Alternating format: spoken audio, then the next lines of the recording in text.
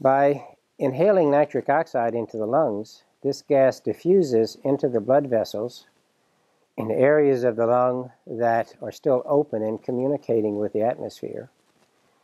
And it opens up those blood vessels a little bit more, and that improves the amount of oxygen that gets into the bloodstream.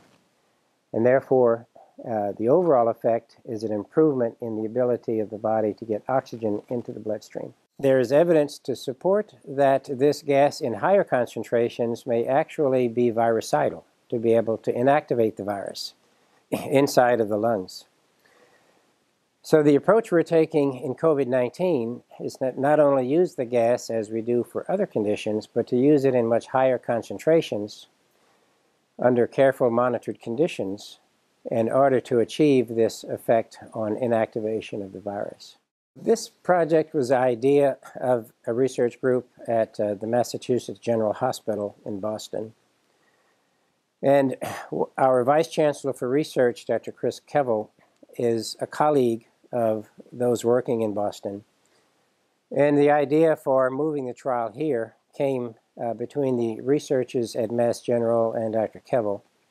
Dr. Kevil contacted Dr. Scott and I about conducting this research in our intensive care unit. Once our IRB approval was obtained, then we were able to get the equipment in place. Um, we did order that from um, different locations to try to get everything together to provide what you see here. So um, after our approval, we will make sure that training has been completed for all of um, the research team, how to run the machines, how to monitor patients.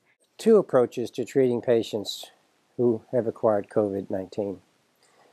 In patients who are not critically ill requiring the placement of an endotracheal tube and mechanical ventilation in the ICU, but rather patients who are less sick but still requiring oxygen, we are treating these patients with high concentrations of nitric oxide on a twice a day basis.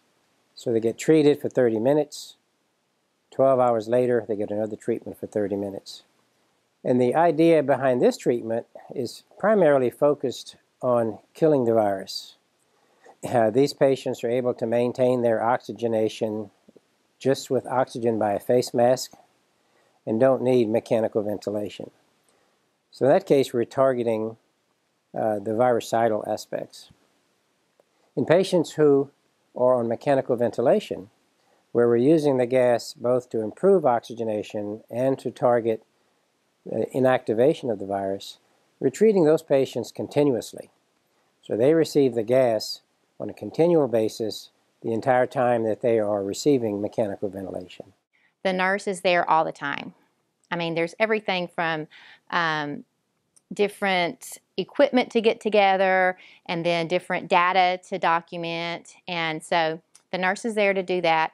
And we're also there for the patient. Um, you know, we spend a lot of times with the patient, even one on one, telling them what we're doing, why we're doing it, reminding them what we're doing because they're nervous, especially now.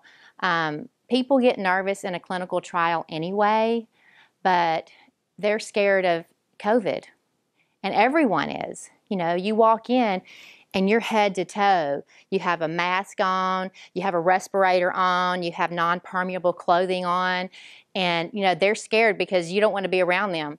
So spending a lot of time with the patient is really important. This is a very new trial. This use for effects on a virus are perhaps some of the first trials of this gas being used for that.